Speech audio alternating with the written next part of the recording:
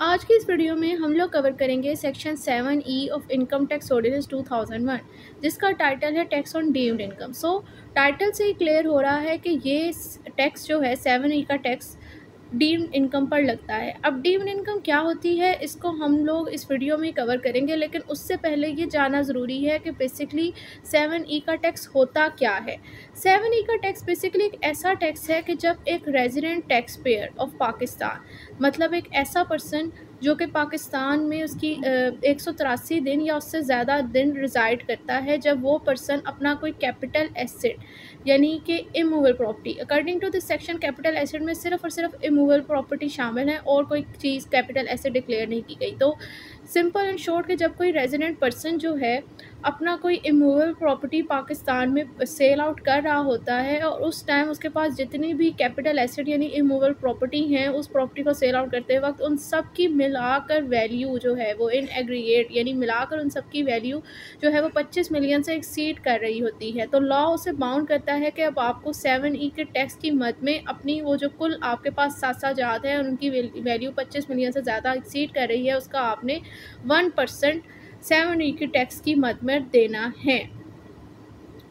क्योंकि कानून ने आपको बाउंड कर दिया है कि अगर आपने अपनी कोई प्रॉपर्टी परचेज़ करनी है तो आपको सेवन ई का टैक्स देना पड़ेगा। उसके बगैर आप अपनी प्रॉपर्टी परचेज़ नहीं कर सकते सॉरी, सेल नहीं कर सकते। कानून ने आपको बाउंड कर दिया कि अगर आपने कोई प्रॉपर्टी सेल करनी है तो आपको सेवन ई का टैक्स देना पड़ेगा। उसके बगैर आप अपनी प्रॉपर्टी को सेल नहीं कर सकते। लेकिन सेवन ई का टैक्स भी आपको तभी देना पड़ता है जब आप अपनी जो प्रॉपर्टी मोल प्रॉपर्टी पर सेल कर रहे हो उसकी उन स, उस टाइम सेल आउट करते वक्त आपके पास जितनी भी असासा जात है उन सब की मिलाकर वैल्यू अगर पच्चीस मिलियन से एक्सीड कर रही हो तब आपने पे करना है अदरवाइज़ आपने पे नहीं करना होता। लेकिन अगर आपने नहीं भी पे करना है तो तब भी आपको एक सबूत, क्योंकि ये आपके ऊपर बर्डन ऑफ़ प्रूफ है कि क्यों आप पर सेवन ई का टैक्स नहीं लगता, ये भी आपको गवर्नमेंट को दिखाना पड़ता है। उसके लिए आपको बाकायदा एक सेवन ई के टैक्स की सर्टिफिकेट की ज़रूरत होती है, और किन रीज़न पर आप पर सेवन ई का टैक्स नहीं लगता, वो भी हम लोग इस वीडियो में कवर करेंगे। वो आपको बाकायदा दिखाना पड़ता है पटवारी को कि क्यों हम पर सेवन ई का टैक्स नहीं लगता, ताकि गवर्नमेंट आपसे सेवन ई का टैक्स ना ले।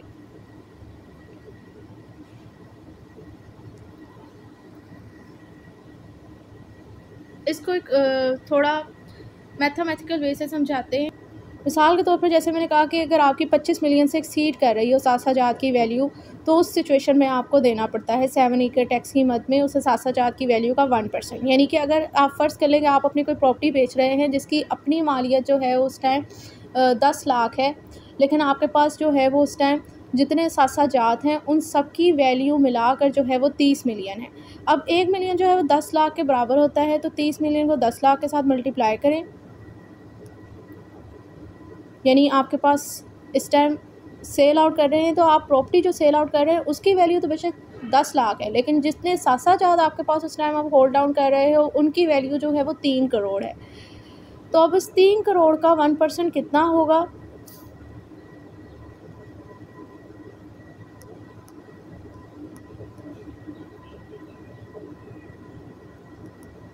यानी सेवन ई के टैक्स की मद में अब आप पर कानूनी तौर पर ऑब्लिगेशन है कि आपको तीन लाख पे करने पड़ेंगे। इस तीन लाख को पे किए बगैर आप अपनी प्रॉपर्टी को सेल नहीं कर सकते। लॉ आप पर ये ऑब्लिगेशन लगाता है। लेकिन हो सकता है कि आपके पास प्रॉपर्टी की मालियत जो है ना हो, पच्चीस मिलियन से कम हो तो अब इस सिचुएशन पर आपको सेवन ई का टैक्स नहीं पे करना पड़ेगा। लेकिन अब फिर कानून आप पर बाउंड करता है कि क्यों नहीं पे करना पड़ेगा? बर्डन ऑफ़ प्रूफ आप पर है। इसके लिए वो हम आपसे कहता है कानून आपको कहता है कि भाई सेवन ई का टैक्स से आप एग्ज़ाम हो ना तो उसका एग्जामेशन सर्टिफिकेट अब आप मुझे दिखाएँ, ला कर दें। और वो किन ग्राउंड पर होता है, इसके कोई ग्यारह बारह ग्राउंड है जो कि हम इस सेक्शन के अंदर ही कवर करेंगे। इधर फ़िलहाल मैं आपको दिखा देती हूँ कि सेवन ई का जो आप पर टैक्स नहीं लगता और जो एग्जामेशन सर्टिफिकेट होता है, वो किस तरह का होता है मतलब किसको दिखा कर अब आप बच सकते हो कि आपको सेवन ई का टैक्स पे नहीं करना पड़ेगा। उसे देख। तो ये होता है basically certificate of declaration seven E का जो एग्जामेशन सर्टिफिकेट है कि आपको क्यों सेवन ई का टैक्स नहीं पे करना पड़ता, ये बिल्कुल इस एक इस तरह का सर्टिफिकेट होता है, जो कि आप एफ़ पी आर के आई एस पोस्टल से निकाल सकते हैं। ये आपको शो हो रहा है। इसमें आपने बेसिकली जिस कैपिटल एसेट को सेल आउट कर रहे होते हैं, उसको डिक्लेयर करना होता है। और फिर एक रीज़न ऑफ़ एक्सक्लूजन के क्यों सेवन ई का टैक्स आप पर नहीं लगता, ये बहुत इंपॉर्टेंट होता है, ये आपने बताना होता है। जैसे यहाँ पर जिस पर्सन का टैक्स पेयर का जो प्रॉपर्टी सेल आउट कर रहा है, उसने रीज़न लिया है कि मेरे पास सिर्फ़ और सिर्फ़ ये एक ही एसेट था रेजिडेंटल प्रॉपर्टी थी। तो इससे आपको ये पता चल गया कि जो आपके पास अगर एक ही एसेट आप होल्ड डाउन कर रहे हो और वो आपकी रेजिडेंटल प्रॉपर्टी हो तो उस पर जो है वो सेवन ई के टैक्स का इम्प्लीमेंटेशन नहीं होती। तो ये होता है सेवन ई का। अब आई होप आपको समझ आ गई होगी कि सेवन ई का टैक्स जो है वो कब पे करना होता है।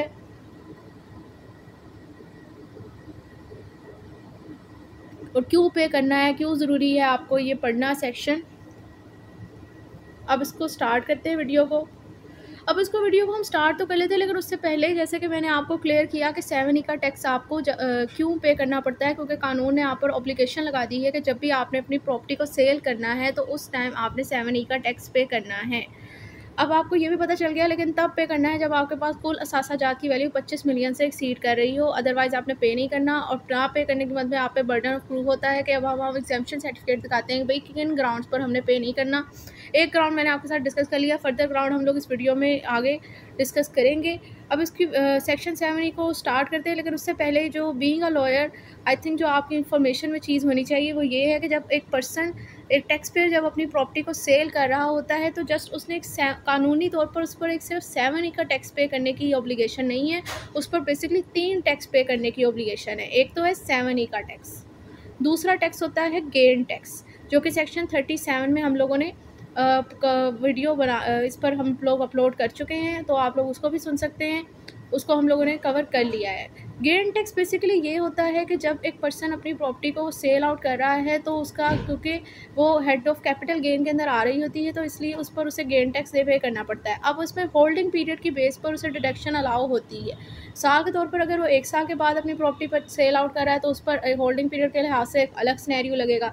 यहाँ पर ये आप इस तरह बच जाता है बंदा कि जब उसके पास होल्डिंग पीरियड जो है, उस, जिस प्रॉपर्टी को सेल आउट कर रहा है, अगर वो छः साल उसके पास रह गई है, उसके बाद वो उसे सेल कर रहा है तो फिर कानूनी तौर पर वो एग्ज़ाम ऑफ़ टैक्स है, नहीं, अब आपको उस पर गेन टैक्स नहीं देना पड़ता। तो एक, दो टैक्स ये होगा जो सेल करते हुए आपको पे करने होते हैं। तीसरा टैक्स होता है टू थर्टी सिक्स सी का टैक्स जो कि एडवांस टैक्स है, जो कि एक ट्रांजेक्शन पर लगा हुआ है। यानी कि प्रॉपर्टी को जब आप सेल कर रहे हैं तो आपको कानूनी तौर पर बाउंड किया गया कि आपने पे करना है। इसमें भी है फाइलर और नॉन फाइलर के लिए डिफरेंट कैटेगरी फाइलर को थ्री परसेंट पे करना पड़ता है और नॉन फाइलर को हंड्रेड परसेंट पे करना पड़ता है। इसको भी मैं आपको चार्ट से दिखा देती हूँ। तो ये आपको स्क्रीन पर शो हो रहा होगा कि sale on transfer of immovable property जब सेक्शन दो सौ छत्तीस सी के तहत जब हम लोग अपनी कोई इमूवल प्रॉपर्टी को सेल कर रहे होते हैं तो उस सिचुएशन में अगर तो आप फाइलर हो तो आपके ऊपर थ्री परसेंट आपको एडवांस टैक्स पे करना पड़ेगा और and hundred percent increase of amount of tax in case person is not appearing on active tax payer list active tax payer list में अपेयर ना होने का मतलब ये है कि अगर आप नॉन फाइलर हो आपने टैक्स पे नहीं किया सो लिहाजा A T L active tax payer list में आपका नाम नहीं है तो अब इस सिचुएशन में जो टैक्स का अमाउंट आप पर है, वो आपको हंड्रेड परसेंट देनी पड़ेगी। मतलब जो भी आप पर टैक्स जब भी हम अपनी इमोवल प्रॉपर्टी को डिक्लेयर करेंगे उधर जो आपके ऊपर जितना टैक्स बनकर आ रहा होगा, उतना टैक्स आपको पे करना पड़ेगा। अगर आप नॉन फाइलर हो, आप पर किसी किस्म की आपको माफ़ी नहीं है, लेकिन अगर तो आप फाइलर हो तो जितना आप पर टैक्स बनेगा, उसका जस्ट थ्री परसेंट आपने पे करना पड़ेगा। तो फाइलर होने का इस सिचुएशन में आप देख सकते हैं कि कितना फ़ायदा है कि अगर नॉन फाइलर हो तो हंड्रेड परसेंट और अगर फाइलर हो तो थ्री परसेंट तो ये अब आपको क्लियर हो गया कि जब एक पर्सन अपनी इमूवेबल प्रॉपर्टी सेल आउट कर रहा है पाकिस्तान में तो गवर्नमेंट ने उस पर तीन टैक्स इम्पोज कर दिए। नंबर वन टैक्स है दो सौ छत्तीस सी का टैक्स जो कि फाइलर और नॉन फाइलर की डिफरेंट कैटेगरी है। नंबर टू टैक्स है उस पर gain tax section thirty seven का।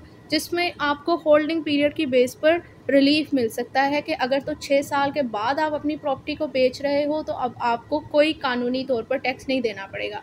लेकिन अगर छः साल से पहले आप अपनी प्रॉपर्टी को परचे सेल आउट कर रहे हो तो अब इस सिचुएशन पर आप पर डिफरेंट टैक्स कैलकुलेट होकर आएगा, जो कि डिफरेंट फार्मूला है। आप सेक्शन थर्टी सेवन की वीडियो भी सुन सकते हैं, खुद भी बुक से पढ़ सकते हैं कि किस तरह कैलकुलेट करना है। लेकिन अब उसके लिए मैं आपको बता दूँ कि आप जो पहले जो है वो सेक्शन में होल्डिंग पीरियड के लिहाज होल्डिंग पीरियड जो पहले सेक्शन था आपके पास हो सकता है अपडेटेड बुक ना हो वहाँ पर जो है वो ये होल्डिंग पीरियड की जो क्लाउज़ है उसको सेक्शन का पार्ट बनाया हुआ था और उसके अंदर ही समझाया हुआ था।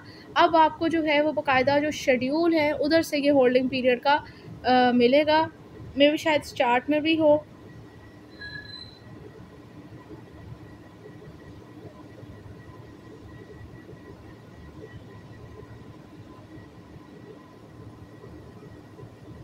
जी, इसमें चार्ट पे भी आपको ये शो हो रहा है कि rate of tax on capital gain on disposal of immovable property section thirty seven one eight अब यहाँ पर आपको शो हो रहा है कि अगर तो आप ये देख सकते हैं सेवन सीरियल नंबर पे कि जब आपका होल्डिंग पीरियड छः साल से ज़्यादा हो गया तो अब इस सिचुएशन पर आप चाहे अपनी कंस्ट्रक्टेड प्रॉपर्टी बेचो फ्लैट बेचो ओपन प्लॉट बेचो, आप पर कोई टैक्स नहीं है। लेकिन अगर आपका होल्डिंग पीरियड एक साल से ज़्यादा नहीं है और उसके अंदर ही आपने अपनी इमोल प्रॉपर्टी सेल आउट कर दी। तो ओपन प्लॉट अगर ये इमोल प्रॉपर्टी की नेचर ओपन प्लॉट है तो आपको पंद्रह परसेंट सैंतीस एक सैंतीस महीने के तहत टैक्स पे करना पड़ेगा।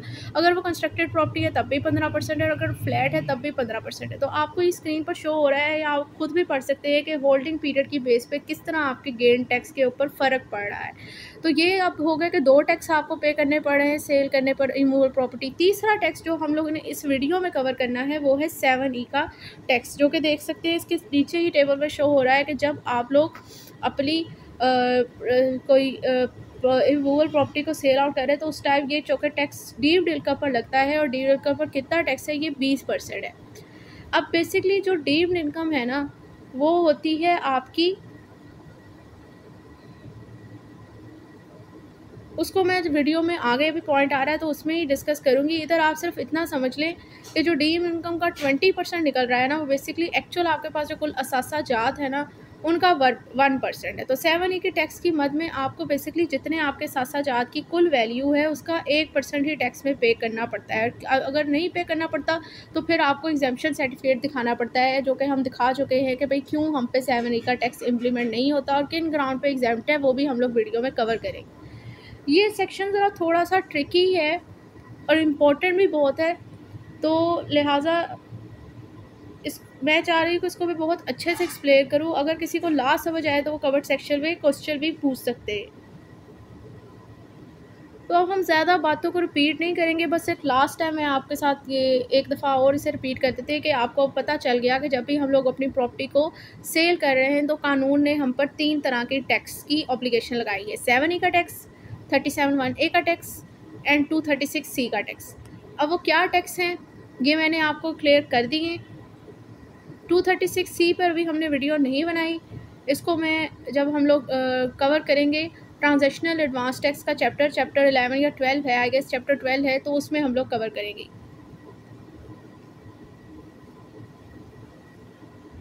लेकिन यहाँ तक अब आपको मुझे यकीन है, मुझे उम्मीद है कि आपको इतनी तो समझ आ गई होगी कि जब हम लोग कोई सेल कर रहे हैं प्रॉपर्टी तो हम पर तीन टैक्स हैं, ठीक है? और किस तरह आप बच सकते हैं टैक्स से ये भी मैंने आपको बता दिया कि सें, सें, एक तरह से देखा जाए तो एडवांस टैक्स जो दो सौ छत्तीस सी का है तब आपको बच फुल नहीं बच सकते फिर सिर्फ़ इस तरह बच सकते हैं अगर आप फाइलर हो। क्योंकि तो देखना सिर्फ़ तीन परसेंट फाइलर की नॉन फाइलर के लिए हंड्रेड परसेंट सेवन ई के लिए जो ग्राउंड से अभी हम डिस्कस करेंगे कि किस तरह बच सकते हैं और वैसे भी आप में से कोई भी इतना अमीर नहीं है जिसके पास पच्चीस मिलियन से ज़्यादा की मालियत की प्रॉपर्टीज़ हों। तो इस सिचुएशन में आपको सेवन ई का टैक्स ही दिखाना पड़ेगा इससे आप इस तरह बच सकते हैं।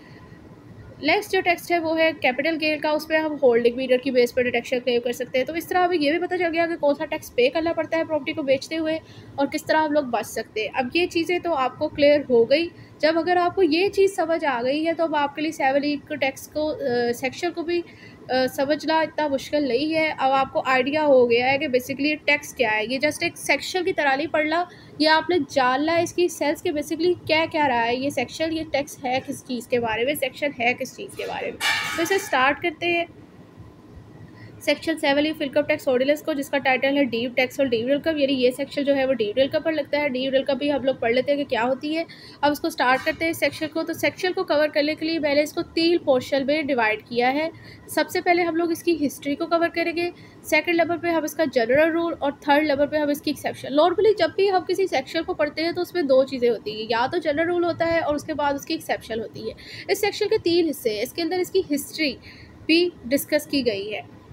सेक्शन सेवन की।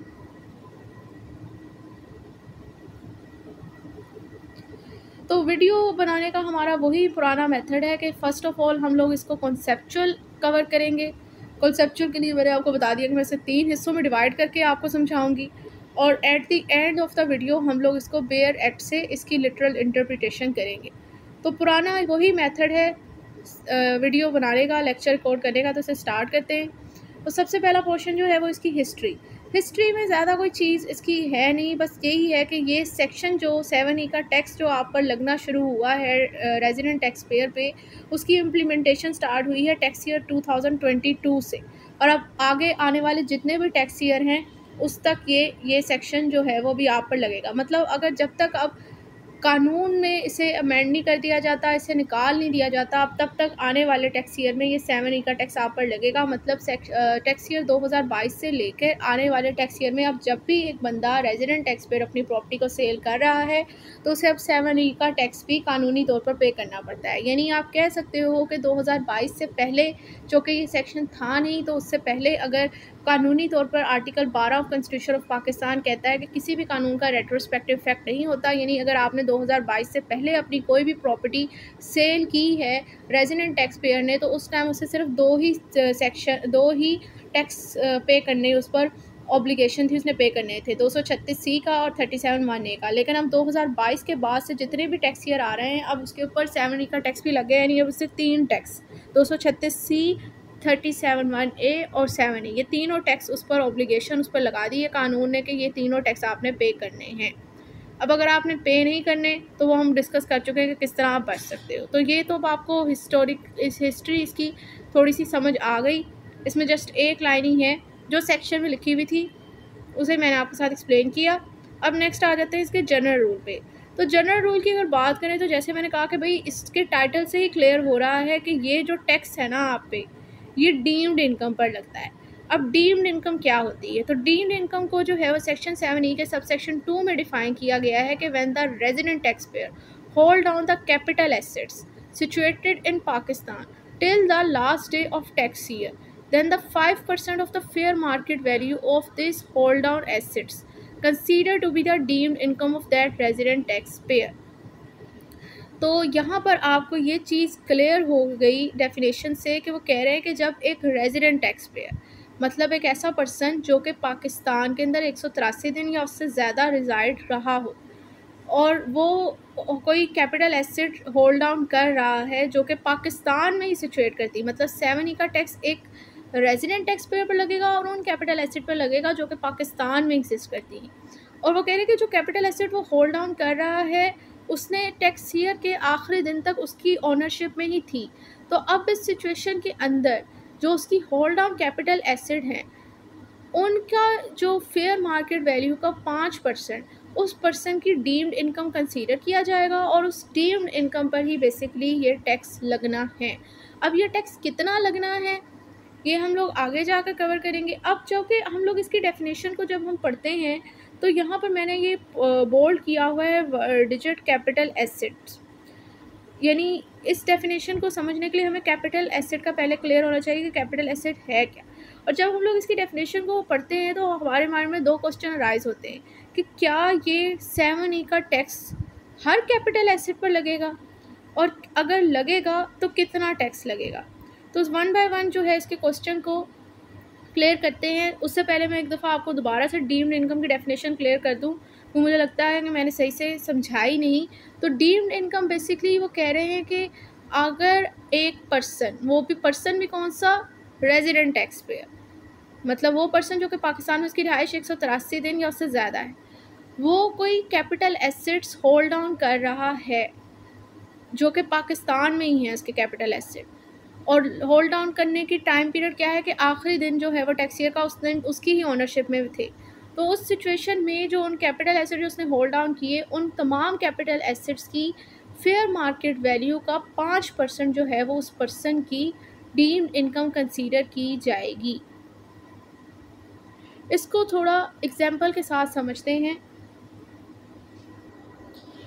तो कैलकुलेट हमने ओपन कर लिया है। साल लें कि एक पर्सन के पास कुल जितने असासा जात हैं, उनकी वैल्यू कितनी है? उनकी वैल्यू आप फ़र्ज़ कर लें थर्टी मिलियन ही है। मतलब जितने उसने at the end of the day of last of day of the tax year उसके पास कुल असासा जा जो कैपिटल एसेट वो होल्ड डाउन पाकिस्तान में कर रहा है, उनकी आप कहते हैं कि उसकी जो last day of tax year आया ना, उस टाइम उनकी कुछ सबकी कुल मिला के मालियत कितनी थी? थर्टी मिलियन तो हमने कहा, भाई थर्टी मिलियन में वन मिलियन दस लाख का है, इसका मतलब उसके पास तीन करोड़ के एसेट्स हैं।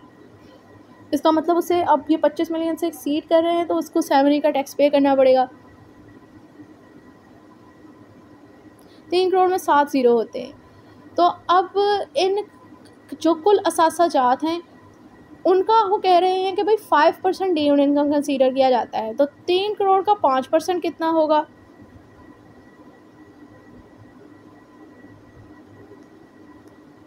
तो ये आपको पास हो गया कि भाई तीन करोड़ का पाँच परसेंट बेसिकली होता है पंद्रह लाख। तो ये आपको पता चल गया कि ये अब उस पर्सन की डीम्ड इनकम है पंद्रह लाख। इस पंद्रह लाख पर उसने टैक्स पे करना है, ठीक है? इस पंद्रह लाख पर उसने टैक्स पे करना है और वो टैक्स कितना पे करना है वो बेसिकली है ट्वेंटी परसेंट यानी ये जो डीम्ड इनकम है ना, उसके ऊपर उसने ट्वेंटी परसेंट टैक्स पे करना होता है, सेवन के टैक्स में मत। अब पंद्रह लाख इसकी इनकम है, डीम्ड इनकम है।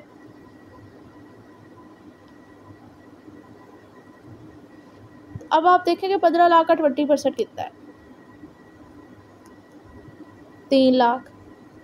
जिस तरह के मैंने आपको पहले समझाया था कि भाई जो आपके पास टोटल असासा जात है ना उनकी वैल्यू का वन परसेंट आपको सैलरी के टैक्स पे देना पड़ेगा। और वहाँ पर आप देख सकते हैं कि जब तो टोटल सासा जात की वैल्यू का वन परसेंट भी क्या बन रहा था? तीन लाख।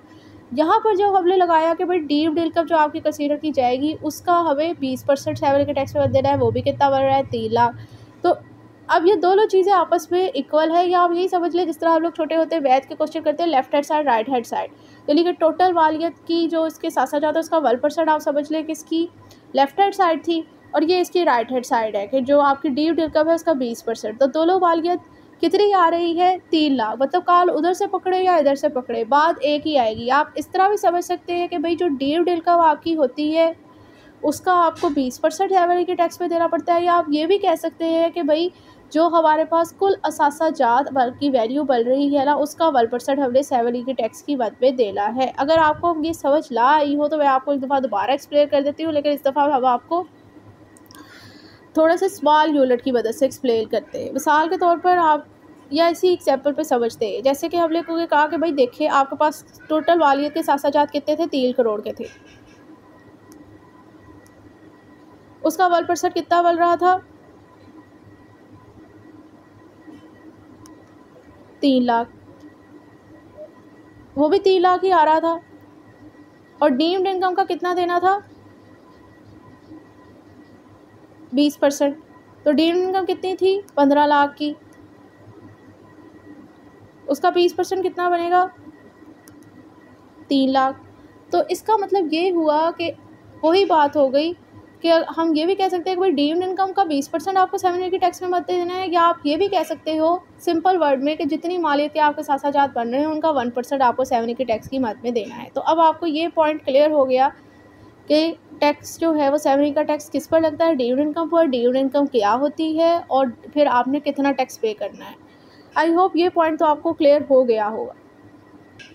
अब जब हम लोगों ने इसकी डीम्ड इनकम की डेफिनेशन क्लियर की तो उस टाइम हमारे माइंड में दो क्वेश्चन अराइज होते हैं। नंबर वन क्वेश्चन तो ये कि भाई ये कितना टैक्स इम्पोज होगा? और कितना टैक्स इम्पोज होगा ये मैंने आपके साथ क्लियर कर दिया और समझा भी दिया प्रैक्टिकली दूसरा क्वेश्चन ये है कि ये जो सेवन ई का टैक्स आम पर इम्पोज होता है, क्या ये हर कैपिटल एसिड पर इम्पोज होगा?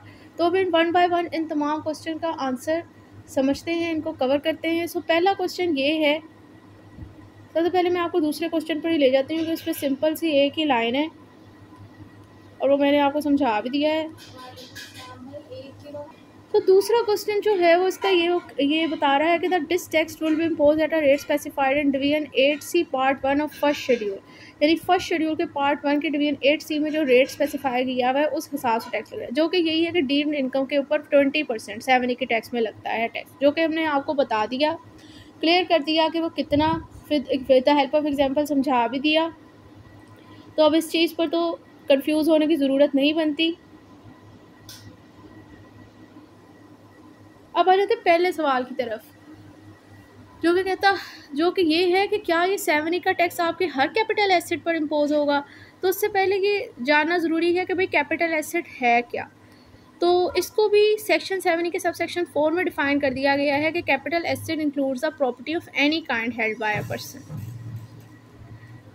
it is immaterial whether such property is connected with business और नॉट तो सिंपल सी डेफिनेशन है कि कह रहे हैं कि कैपिटल एसेट में हर तरह की प्रॉपर्टी जो कि पर्सन हेल्ड यानी उसकी ऑनरशिप में है, जो वो ऑन कर रहा है, जो प्रॉपर्टी उस पर्सन की ऑनरशिप में है कैपिटल एसेट में वो हर तरह की प्रॉपर्टी कहलाए कैपिटल एसेट कहलाएगी।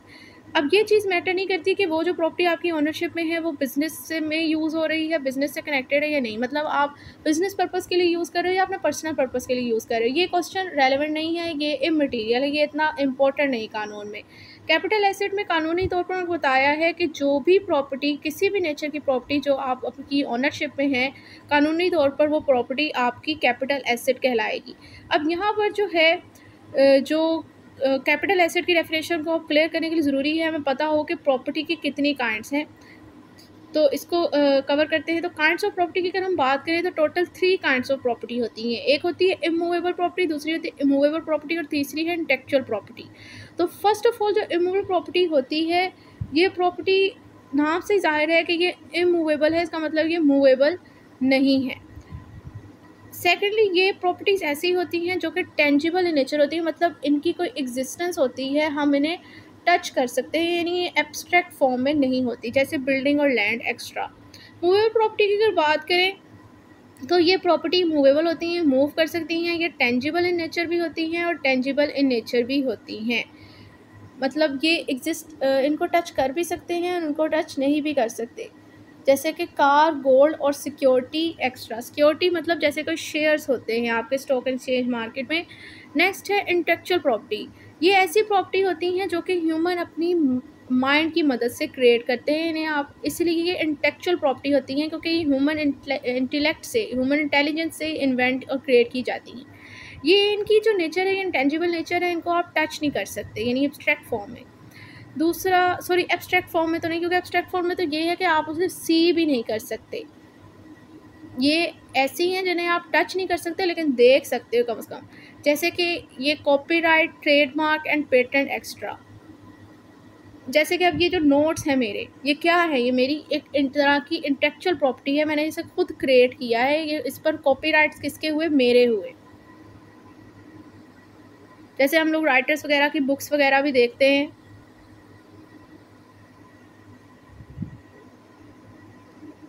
तो अब ये आपको क्लियर हो गया कि ये प्रॉपर्टी की कार्ड्स हैं। अब सो के डेफिनेशन ये थी कि हर तरह की प्रॉपर्टी कैपिटल एसेट कहलाएगी। तो सूलन तो ये immovable property movable property intellectual property हर तरह की property according to law according to this section capital asset कहलानी चाहिए। लेकिन ऐसा नहीं है।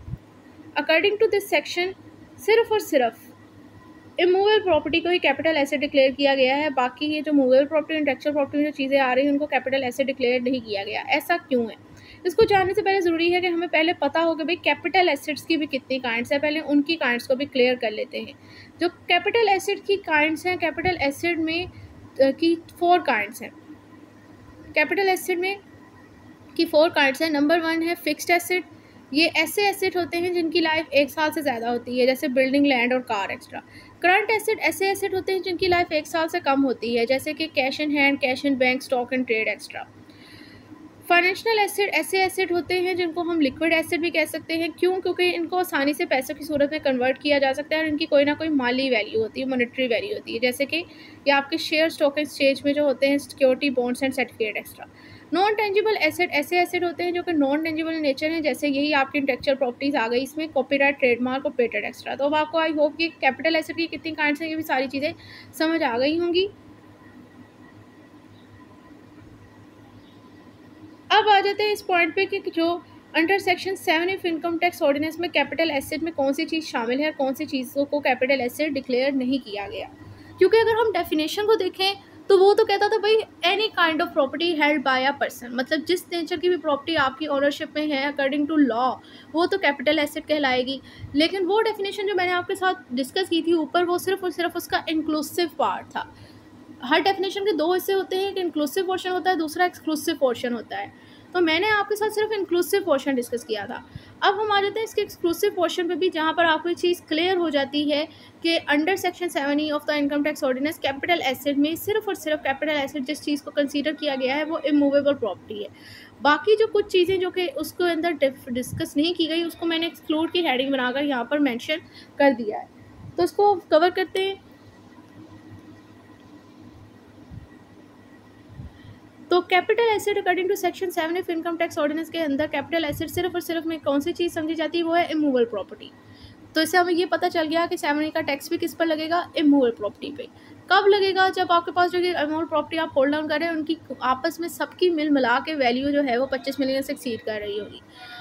अदरवाइज़ नहीं लगेगा. अब एक्सक्लूड्स हैं मतलब कौन सी चीज़ें जो है वो कैपिटल एसेट नहीं कहलाती under section seven of income tax ordinance तो इसमें सबसे पहली चीज़ तो है स्टॉक एंड ट्रेड जो कि आपने बिज़नेस पर्पसेस के लिए रखी होती हैं। मिसाल के तौर पर आपके पास जो है कोई जैसे आप कोई पर्सन बिज़नेस पर बिज़नेस ऑनर है और बाद लोग जो है वो बिज़नेस दो चीज़ों पर होता है प्रोडक्ट पे और सर्विस पे। तो प्रोडक्ट जो भी आप लोग मार्केट में पर, सेल आउट कर रहे होते हैं उसके लिए आपके पास स्टॉक होता है उस चीज़ का। तो जो वो आपके पास for the purpose of trade stock आपने स्टोर किया होता है अपने पास वो चीज़ें जो है वो according to law according to this section capital asset नहीं कहलाती।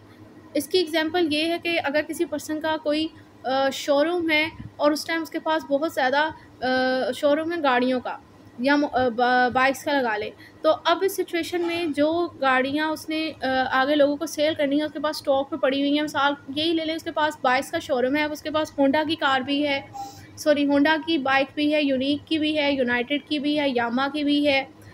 सी डी सेवेंटी होंडा ही होता है तो कह रहे हैं उसके पास ये डिफरेंट तरह की कंपनीज़ की कार है।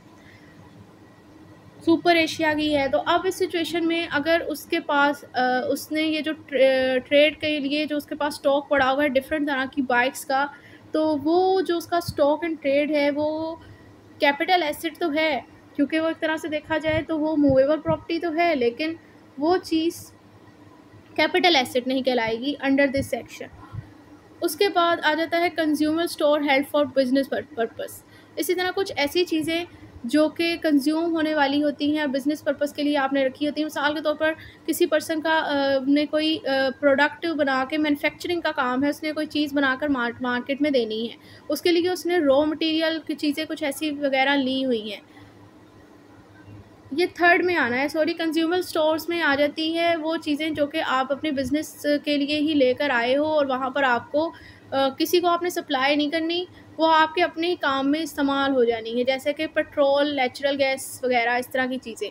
आप फ़र्ज़ कर लें कि किसी का होटल का काम है वहाँ पर अब उसके पास जो सिलेंडर उन्होंने लिए हुए हैं और गैस जो उनका आती है लगाई हुई है या पत्थरों पे कोई चीज़ बनती है कोयलों पे बनती है, क्योंकि उसका टेस्ट अच्छा आता है तो उसके लिए जो उन्होंने चीज़ें ले कर रखी हुई हैं कंज्यूमर स्टोर जो उनका काम करने में इस्तेमाल हो रही हैं तो वो चीज़ें भी जो है वो according to law capital asset नहीं कहलाती इस सेक्शन के तहत।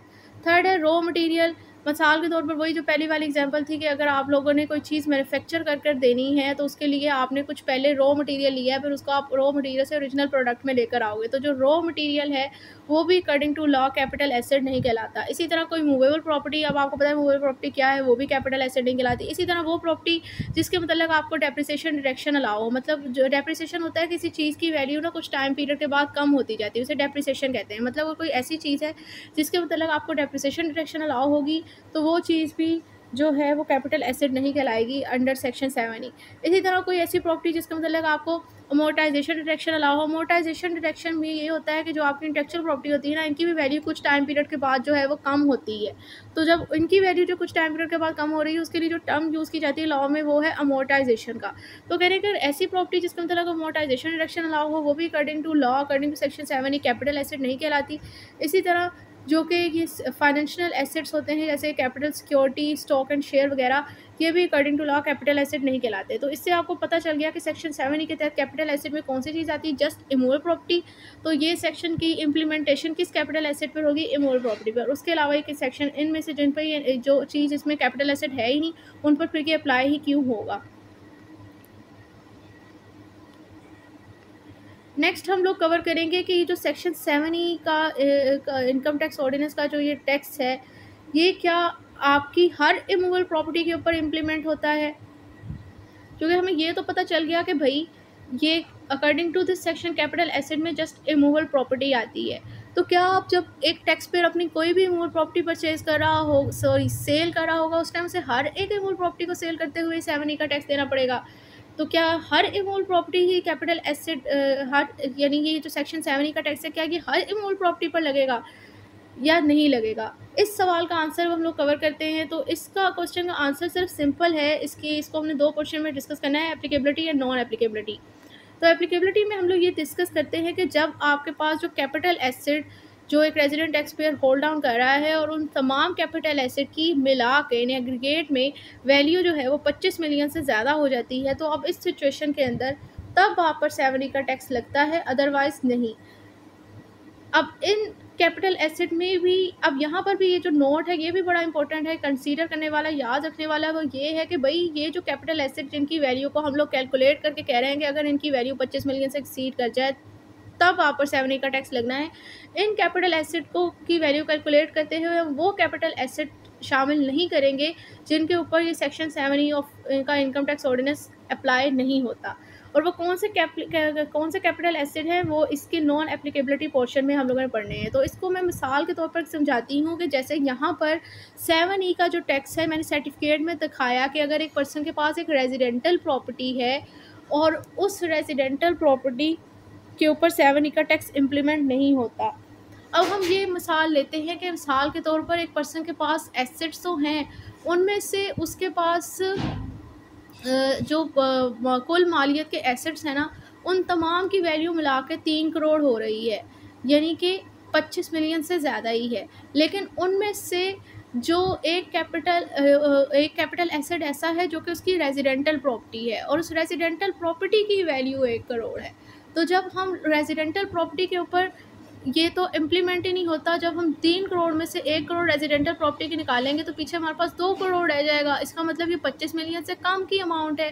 जब ये अमाउंट पच्चीस मिलियन से कम की हो गई, और तो अब इसके ऊपर ये जो है, बेशक आपके पास एसेट है तो एक तो ये ग्राउंड कि आपकी पच्चीस मिलियन से ज़्यादा की मालियत नहीं बन रही कैपिटल एसेट की।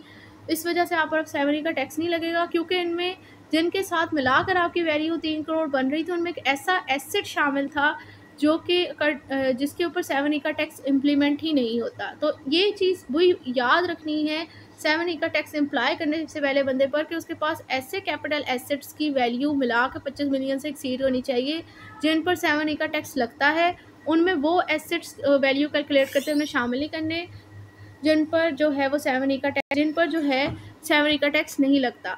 और उनमें वो कौन कौन से एसेट्स हैं, इनको हम लोग कवर कर लेते हैं।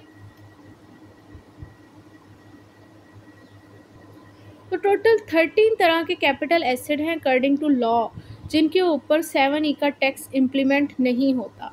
इनको वन बाय वन कवर करते हैं। मेन जो चीज़ है ना इस सेक्शन के अंदर, एक तो वो है इसका डीम्ड इनकम, आपको डीम्ड इनकम को पता होना चाहिए। दूसरा, आपको ये पता होना चाहिए कि भाई सेवन का टैक्स आप पर लगना है तो कितना लगना है।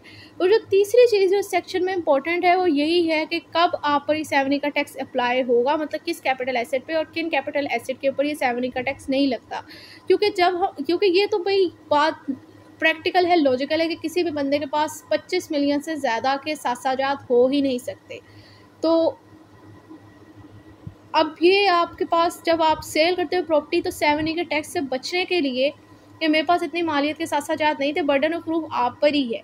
और अब आप किस तरह इस चीज़ को साबित करते हैं? ये जो एक्सेप्शन के अराउंड है कि जिन कैपिटल एसेट पर सेवन का टैक्स इंप्लीमेंट नहीं होता, वो यही है। आपको पता होना चाहिए कि मैं किस तरह सेवन का टैक्स से बच सकते हैं हम लोग। तो वो ये यही ग्राउंड्स हैं। ये तेरह एसेट्स ही हैं जिन पर कैपिटल सॉरी सेक्शन सेवन का टैक्स इंप्लीमेंट नहीं होता। इनको फिर हम वन बाय वन कवर करते हैं। तो सबसे पहले तो ये है कि अगर तो आपके पास self own one capital asset हो मतलब अगर आपके पास सिर्फ़ एक ही कैपिटल एसेट है, आपके पास एक रेजिडेंटल प्रॉपर्टी है तो अब उसके ऊपर भी जो है वो सेवन ई का टैक्स नहीं लगता। इस ग्राउंड पर भी आप सेक्शन सेवन ई के का जो एग्जामेशन सर्टिफिकेट हासिल कर सकते हो। इसके अलावा जो सेकंड ग्राउंड है, वो ये है कि जो आपके पास टोटल कैपिटल एसेट आप होल्ड डाउन कर रहे हैं, उनकी फेयर मार्केट वैल्यू जो है वो पच्चीस मिलियन से कम है, उससे ज़्यादा नहीं है, तब भी आप पर सेवन ई का टैक्स नहीं लगेगा। थर्ड ये है कि अगर आपकी कोई बिज़नेस परमिसेस हो तब आप पर सेवन ई का टैक्स नहीं लगता, लेकिन यहाँ पर आपको सेवन ई का टैक्स से बचने के लिए आपके ऊपर कुछ कंडीशन है, कुछ कंडीशन प्रेसिडेंट आपको पूरी करनी पड़ती है। नंबर वन तो ये कि आप फाइलर हो, आपका नाम एटीएल में हो। सेकंड ये कि ये जो जगह है बिज़नेस परपसेस की बेस पे, आप कह रहे हो कि इस पर कैपिटल इसके ऊपर सेवन का टैक्स नहीं लगना, वो वाकई बिज़नेस पर्पसेस के लिए वो जगह इस्तेमाल की जा रही है। अगर तो ये दो कंडीशंस आप पूरी कर रहे होगे, तब इस ग्राउंड पे कि भाई ये जगह बिज़नेस परमिसेस से आप सेवन का टैक्स से बच सकोगे अदरवाइज़ नहीं।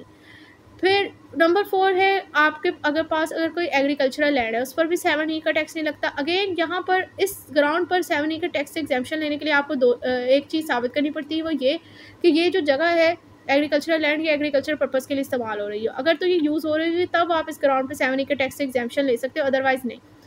नंबर फाइव ये है कि अगर कैपिटल एसेट प्रोविशनल गवर्नमेंट या लोकल गवर्नमेंट की ओनरशिप में हो, उनका उनका ओन बाय लोकल गवर्नमेंट और प्रोविशनल गवर्नमेंट हो, तब आप लोग को ऊपर सेवन ई का टैक्स नहीं लगेगा। इस ग्राउंड पर भी आप बच सकते हो। नंबर सिक्स ये है कि अगर कैपिटल एसेट जो है वो लोकल अथॉरिटी का हो डेवलपमेंट अथॉरिटी का हो या किसी बिल्डर या डेवलपर का हो तो अब इस सिचुएशन के अंदर भी आप लोग आ, को सेवन ई के टैक्स से आप बच सकते हो। इसी तरह है ये जो प्रॉपर्टी एसेट है आपकी वो किसी इसी आ, इसी इनकम टैक्स ऑर्डिनेंस के किसी प्रोविज़न के अंदर चार्जेबल टैक्स हो मतलब उस पर टैक्स लग रहा हो और वो टैक्स जो उस पर लग रहा है वो आप पे भी कर रहे हो। जैसे कि एक हेड ऑफ़ इनकम है इनकम फ्रॉम प्रॉपर्टी क्या आपको प्रॉपर्टी से कोई जो इनकम हासिल हो रही है, वो रेंटल इनकम कहलाती है, उस पर भी आपको टैक्स पे करना पड़ता है। तो सेवन जो पॉइंट है, वो बेसिकली इसी की बात कर रहा है कि अगर आपकी कोई प्रॉपर्टी थी जो कि रेंटेड प्रॉपर्टी थी, उससे आपको टैक्स हासिल हो रहा था और वो उस पर आप लोग बेच रहे थे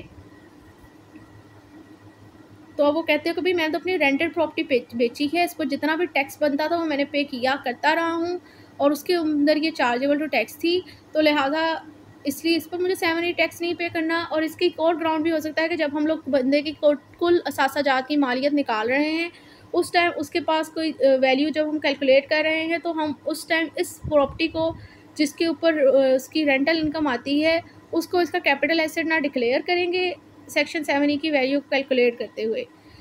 नंबर एट है कि आपने जो कैपिटल एसेट जिस साल एक्वायर की, उस साल आपके ऊपर जो प्रॉपर्टी को परचेज करने पर दो सौ छत्तीस के का टैक्स आपने पे करना था एडवांस टैक्स वो आपने पे किया हुआ है। तो इस सिचुएशन पे इस प्रॉपर्टी को भी हम जब इस पर्सन की ये सासा जात की वैल्यू कैलकुलेट कर रहे हैं तो उस टाइम इस प्रॉपर्टी को भी कैपिटल एसेट में शामिल ही करेंगे, यानी इस पर भी सेवन ई का टैक्स नहीं लगता। नेक्स्ट आ जाता है कैपिटल एसेट जो कि, ये स्पेलिंग मिस्टेक हो गई है। यहाँ पर शेम जो लिखा हुआ है बेसिकली शहीद वर्ड है। तो कह रहे हैं कि अगर कैपिटल एसेट के मेरे ख्याल से जब हम लोग ग्रामर रिव्यू कर रहे होते हैं तो उस टाइम उससे ज़रा गलत हो गए स्पेलिंग लेकिन आप लोग यहाँ पर कंसीडर करें कि ये शहीद है सॉरी तो कह रहे हैं कि कैपिटल एसेट जो है वो अगर जिसको किसी शहीद को अलॉट किया होता है, या फिर जो किसी जो कि पाकिस्तान आर्म फोर्सेस से रिलेट करता था तो वहाँ पर उसने अपनी सर्विस प्रोवाइड की है शहदा ने, या फिर अगर किसी शहदा के डिपेंडेंट्स को जो उस पर डिपेंड करते हैं, उसके उसके घर वाले उनको जो कैपिटल एसेट दी गई होती है, उसके ऊपर भी सेवनी का टैक्स नहीं लगता। इसी तरह जो कैपिटल एसेट दिया गया होता है, किसी ऐसे पर्सन को, किसी ऐसे पर्सन को, या किसी उस पर्सन के डिपेंडेंट को जो कि अपनी सर्विसेज़ प्रोवाइड करते हुए, जो कि सर्विसेज़ दे रहा था पाकिस्तान फोर्सेस में फेडरल गवर्नमेंट प्रोविशनल गवर्नमेंट में, इन इदारों में अपनी सर्विस प्रोवाइड करते हुए शहीद हो गया। अगर कोई कैपिटल एसेट इस शहदा को या इसके डिपेंडेंट को दिया गया होता है तो उस पर भी सेवन ई का टैक्स नहीं लगता। इन शॉर्ट ये कि इस कैपिटल एसेट को भी इस बंदे की जो टोटल मालियत असासा जात कैलकुलेट करते हुए हम लोग नहीं शामिल करते। नेक्स्ट है, अगर कोई कैपिटल एसेट जो कि ज़ख्मी होते हैं, बंदे, बाज़ अवत हम देखते हैं कि जंग हुई थी और वो आता नहीं न्यूज़ में कि भाई कुछ पर्सन जो है वो शहीद हो जाते हैं, कुछ गाजी हो जाते हैं। लेकिन गाजी इस तरह की कंडीशन में भी हो सकते हैं कि कोई जंग के दौरान उन्हें शदीद ज़ख़म आया। मिसाल के तौर पर किसी ने अपनी आँखें गवा दी, किसी की रेस गुजर जाती हैं तो उनकी बॉडी शिवर होती रहती है, ताहयात से सारी उम्र, या किसी के पाँव कट जाते हैं, या किसी के जो है वो हाथ चला जाता है जंग के अंदर तो वो बंदे जो है वो वार वाउंडेड पर्सन होते हैं। तो वो कह रहे हैं, अगर कोई पर्सन वार वाउंडेड पर्सन है, अपनी सर्विसेज़ वो कहने दे रहा था? आर्मी को फेडरल गवर्नमेंट प्रोविशनल गवर्नमेंट को। और उनके दौरान इसके साथ ऐसा हुआ है कि वार वाउंडेड पर्सन है। तो अगर किसी ऐसे बंदे को कैपिटल एसेट दिया जाता है तो उस पर भी सेवरी का टैक्स नहीं लगता। और उसके बाद आ जाता है कैपिटल एसेट मतलब वो ये कहना चाह रहे हैं कि भाई अगर ये शहीद या उनके डिपेंडेंट शहीद है वार वाउंडेड पर्सन इनको जो कि अलॉट हुआ होता है ना एसेट और वो सेल आउट कर रहे हैं तो वो ये कह सकते हैं कि भाई हमें तो इस तरह ही एसेट मिला था तो इस तरह वो इस पेज पर इन ग्राउंड पे एग्जामेशन और सेक्शन और सेवन सेवन ही होंगे, उन पर ये टैक्स नहीं लगेगा। नेक्स्ट है कि अगर कोई बंदा जो कि पाकिस्तान आर्म फोर्सेस में अपनी सर्विसेज़ प्रोवाइड कर रहा था एक्स सर्विस मैन था या फिर अभी भी, भी कर रहा है अपनी सर्विस दे रहा है तो उस बंदे को कैपिटल एसिड मिला होता है तो उसके ऊपर भी सेवनी का टैक्स नहीं लगता। इसी तरह जो बंदा फेडरल प्रोविशनल या को अपनी सर्विसेज़ प्रोवाइड कर रहा था एक्स सर्विस मैन था इन इदारों में या फिर अभी भी कर रहा है उसको जो कैपिटल एसिड अलॉट हुआ होता है उस पर भी सेवनी का टैक्स नहीं लगता।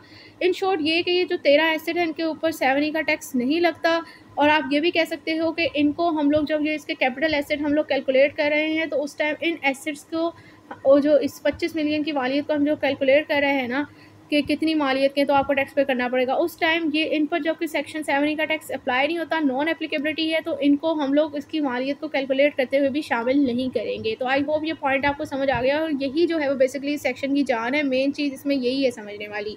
फिर नेक्स्ट है कि कितना टैक्स आप पर इम्पोज हो गया, मैंने आपको कवर कर दिया कवर समझा दिया था। लास्ट पोर्शन जो है वो इसका, इस सेक्शन का वो ये है, वो है एक्सेप्शन कि किन के ऊपर एक्सेप्शन इसकी ये है कि भाई फेडरल गवर्नमेंट जनरल रूल हमने पढ़ लिया ना कि किस पर ये टैक्स लगेगा, कितना लगेगा और किस पर नहीं लगेगा। एक्सेप्शन इसकी ये है कि जो फेडरल गवर्नमेंट है, उसकी ये पावर है डिस्क्रिशनरी पावर है मे का वर्ड लिखा हुआ है, इसका मतलब डिस्क्रिशनरी पावर है कि वो चाहे तो वो सेवन का टैक्स किसी भी पर्सन किसी भी प्रॉपर्टी पर लगा सकती है और अगर चाहे तो नहीं लगा सकती। तो इन शॉर्ट अगर ये चाहे ना चाहे की बात को अगर हम थोड़ा सा एलोब्रेट करें तो वो ये है कि अगर तो फेडरल गवर्नमेंट चाहे तो वो कह सकती है कि भाई अगर होगी आपके पास कोई रेजिडेंटल प्रॉपर्टी लेकिन यही पच्चीस मिलियन से ज़्यादा एक्सीड कर रही है, आप सेवन का टैक्स दो। ये एक्सेप्शनल केस है। ये डिस्क्रिशनरी पावर है फेडरल गवर्नमेंट की, वो चाहे तो वो लगा सकती है उस प्रॉपर्टी पे भी, उस बंदे पे भी, जिसकी रेजिडेंटल प्रॉपर्टी है, उस रेजिडेंटल प्रॉपर्टी पे भी अव्वल तो नहीं लगता, लेकिन अगर वो चाहे तो उस पर लगा सकती है, जिसकी है उस पर वो लगा सकती है कि भाई दो आप। या हो सकता है कि किसी बंदे की पच्चीस मालियन से ज़्यादा एक्सीड कर रही है प्रॉपर्टी लेकिन फेडरल गवर्नमेंट कहती है कि नहीं, इसने बहुत टैक्स पे किया हुआ है इसको टैक्स पे करने की ज़रूरत नहीं है तो फेडरल गवर्नमेंट जो है वो उसे मना भी कर सकती है। वैसे ये जो सिचुएशन मैंने आपके साथ डिस्कस की हुई है ना, ये तो है भी एक तो एक्सेप्शनल और आप इसे रेयर भी कह सकते हैं कि गवर्नमेंट और किसी को कहे भाई टैक्स पे ना करो, वो तो पहले कहेगी टैक्स पे करो। क्योंकि गवर्नमेंट को भी चाहिए रेवेन्यू गवर्नमेंट को भी चलाने के लिए तो लिहाजा टैक्स पे करने के लिए तो वो कहेगी टैक्स पे आपको वो छोड़ती तो नहीं है, लेकिन फिर भी अकॉर्डिंग टू लॉ ये सिचुएशन है तो होने को तो कुछ भी हो सकता है। तो अब हम जाते हैं इसको, यहाँ तक मुझे उम्मीद है कि आपको समझ आ गई होगी इसका कॉन्सेप्चुअल से, जिस तरह मैंने आपको एक्सप्लेन करने की कोशिश की है, मुझे यकीन है, उम्मीद है कि समझ आ गई होगी, लेकिन अगर किसी को ना समझ आए तो आप कमेंट सेक्शन में क्वेश्चन कर सकते हैं। नेक्स्ट अब हम लोग इसका कॉन्सेप्चुअल पोर्शन तो हम लोगों ने इसे कवर कर लिया, अब हम लोगों ने इसको लिटरल इंटरप्रिटेशन इसकी बेर से करनी है। अगर तो किसी को ये वीडियो समझ आ गई है तो उसके लिए अब सेक्शन को समझना मुश्किल नहीं रहा तो उसे स्टार्ट करते हैं सेक्शन को। सेक्शन इसका बहुत सिंपल सा स्मॉल सा ही है। Section seven E tax on deemed income sub section one for tax year two thousand twenty two and onward a tax shall be impose at a rate specified in V N eight C of part one of first schedule on the income specified in this section मतलब जो income इस section के अंदर बताई गई है, जो कि डीम्ड इनकम है उसके ऊपर टैक्स लगेगा, किस रेट पर लगेगा, जो कि फ़र्स्ट शेड्यूल के पार्ट वन के डिवीज़न एट सी में बताया गया है। और ये टैक्स इम्पोज होना कब से इम्प्लीमेंट हुई इम्प्लीमेंटेशन इसकी स्टार्ट हुई है? 2022 के टैक्स ईयर से इसकी स्टार्ट हुई है। और ऑनवर्ड से मुराद ये है कि आगे तक अब इसकी इम्प्लीमेंटेशन रहेगी। Subsection 2 A resident person shall be treated to have derived an income chargeable to tax under this section an amount equal to 5% of the fair market value of the capital asset situated in Pakistan held on the last day of tax year. Same यहाँ पर जो कि है deemed income की definition बताई गई है कि एक रेजिडेंट पर्सन के बारे में कंसीडर किया जाएगा कि उसके पास ऐसी इनकम है जो कि इस सेक्शन के अंदर उसके ऊपर टैक्स लगना है तो कब समझा जाएगा जब उसके पास जो भी कैपिटल एसेट होल्ड डाउन कर रहा है, जो कि पाकिस्तान में ही है उसके कैपिटल एसेट और last year of tax year तक उसके पास थे वो कैपिटल एसेट और उनकी उन कैपिटल एसेट की फेयर मार्केट वैल्यू का पाँच परसेंट जो है, उस पर्सन की बेसिकली डी इनकम समझा जाता है और इनकम के ऊपर अंडर दिस सेक्शन समझा जाता है कि टैक्स लगेगा सेवन ई का। अब इसमें से कौन सी चीज़ें हैं, कौन से कैपिटल एसेट जो हैं वो उसमें शामिल नहीं है मतलब कौन सी कैपिटल एसेट जिन पर सेवन का टैक्स नहीं लगता, वो ये है, जिसमें है one capital asset owned by resident person यानी अगर तो उसके पास एक ही कैपिटल एसिड है रेजिडेंटल प्रॉपर्टी है, उस पर नहीं लगेगा।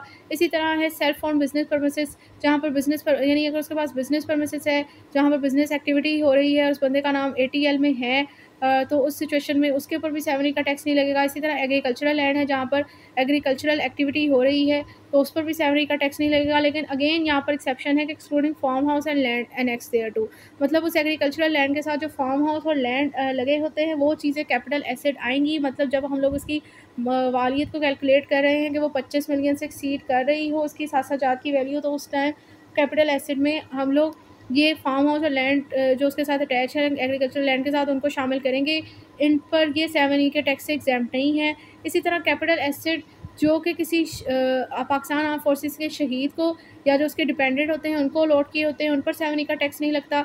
इसी तरह जो बंदा पाकिस्तान आर्म फोर्सेस या फेडरल प्रोविशनल गवर्नमेंट में अपनी सर्विस प्रोवाइड करते हुए उसकी डेथ हो गई, उसे या ऐसे बंदे के किसी डिपेंडेंट को दिए गए होते हैं, उन पर सेवन ई का टैक्स नहीं लगता।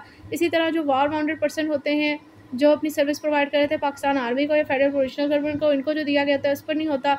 और बाकी एक्स सर्विस मैन और सर्विस पर्सनल जो पाकिस्तान आर्मी फोर्सेस के सबका अपनी सर्विस प्रोवाइड कर रहे थे या अभी करंट कर रहे हैं, इसी तरह फेडरल प्रोविशनल गवर्नमेंट को जो अपनी सर्विस प्रोवाइड कर रहे थे या करंट कर रहे हैं, उनको जो दिया जाता है कैपिटल एसेट उन पर भी सेवनी का टैक्स नहीं लगता।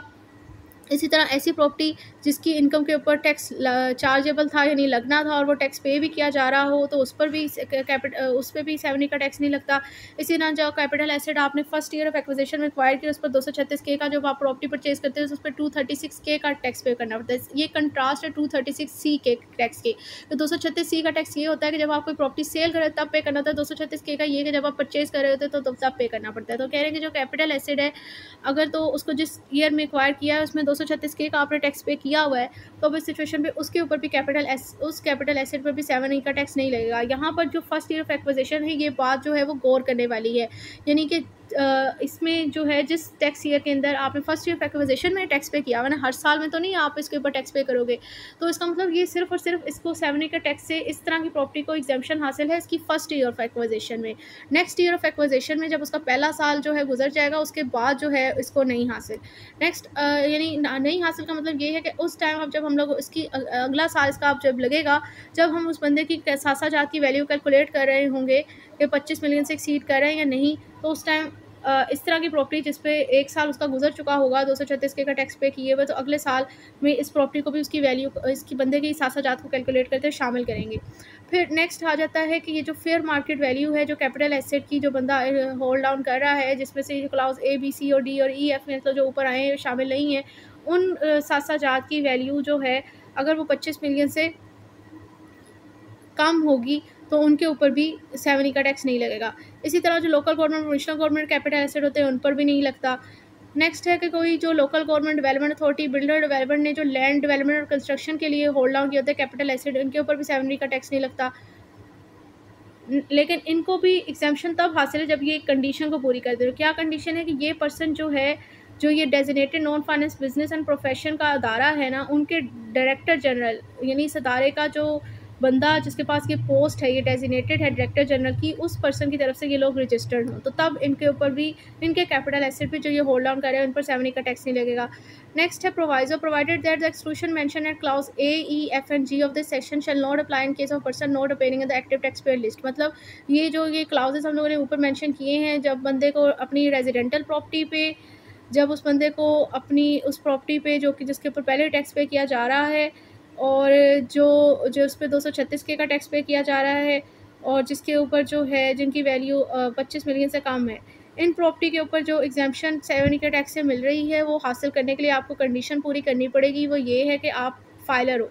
एक्टिव टैक्स पेयर लिस्ट में आपका नाम हो। अगर नहीं होगा तो तब आपको इन ग्राउंड पर सेवन के टैक्स से एग्जामेशन हासिल नहीं होगी। नेक्स्ट सबसेक्शन थ्री जो इसकी एग्जामेशन है कि फेडरल गवर्नमेंट की डिस्क्रिप्शन पावर है कि वो चाहे तो वो किसी भी पर्सन और किसी भी प्रॉपर्टी पर इस सेक्शन का इतलाक़ कर सकती है और अगर चाहे तो नहीं करेगी। Under this section of capital asset क्या है? मैंने वैसे एक्सप्लेन कर दिया, मैं दोबारा एक्सप्लेन कर देती हूँ। कैपिटल एसेट से मुराद है कि किसी भी तरह की प्रॉपर्टी जो कि पर्सन की ऑनरशिप में हो, बेशक बिज़नेस से कनेक्टेड हो या ना हो, लेकिन उसमें क्या चीज़ें शामिल नहीं है, इनको दोबारा क्लियर करने की ज़रूरत नहीं, क्योंकि ये चीज़ें मैंने डेफिनेशन में वहाँ पर वीडियो में क्लियर कर दी। तो दोबारा रिपीट टेलीकास्ट नहीं करते फार्म हाउस की डेफिनेशन मैंने नहीं समझाई थी, इसको डिस्कस करते तो कह रहे फार्म हाउस से मुराद एक ऐसा हाउस है जो कि जिसका जो कंस्ट्रक्ट हुआ हो, कितना टोटल मिनिमम एरिया होना चाहिए इसकी कंस्ट्रक्शन का, जित, कितने एरिया पे इसकी कंस्ट्रक्शन होनी चाहिए? दो हज़ार स्केयर यार्ड पे। और कवर एरिया उसका कितना होना चाहिए? पाँच हज़ार स्केयर फीट और ये सिर्फ़ एक सिंगल डिवेलिंग यूनिट हो। डिवेलिंग का मतलब है रिहायशी। बगैर किसी चीज़ के साथ अब ये कनेक्टेड हो या ना हो, ये चीज़ मैटर नहीं करती। तो अगर ये कवर्ड एरिया इतना हो इतने एरिया पे कंस्ट्रक्शन हो और सिंगल डिवेलिंग यूनिट हो तो according to law according to this section वो टेरिटरी फार्म हाउस कंसीडर की जाएगी। प्रोवाइजो है कि where there are more than one dwelling unit in a compound and the average area अगर एक कंपाउंड के अंदर एक से ज़्यादा रहायशी यूनिट हो, और जो कंपाउंड यूनिट का एवरेज एरिया जो है वो किस कंपाउंड का, जिसके अंदर वो डिवेलिंग यूनिट है, वो दो हज़ार स्क्वेयर यार्ड हो, एक डिवेलिंग यूनिट के लिए। देन ईच डिवेलिंग यूनिट जो एक सेपरेट फार्म हाउस कंसीडर किया जाएगा। मतलब ये कहना चाह रहे हैं कि अगर तो एक कंपाउंड है, एक इलाका है, उसके अंदर एक से ज़्यादा रिहायशी यूनिट है।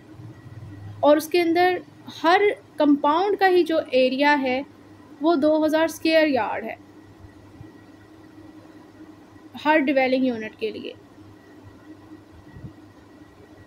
तो अब इस सिचुएशन के अंदर अगर ऐसी सिचुएशन होगी तो जो उस कंपाउंड के अंदर हर डिवेलिंग यूनिट को हम एक सेपरेट फार्म हाउस ट्रीट करेंगे कंसीडर करेंगे। तो आई होप ये आपको सेक्शन अब क्लियर हो गया होगा कि सेक्शन सेवन ई का टैक्स बेसिकली कितना लगता है, किन कैपिटल एसेट पर लगता है, किस पर लगता है, और ये जानना क्यों ज़रूरी था।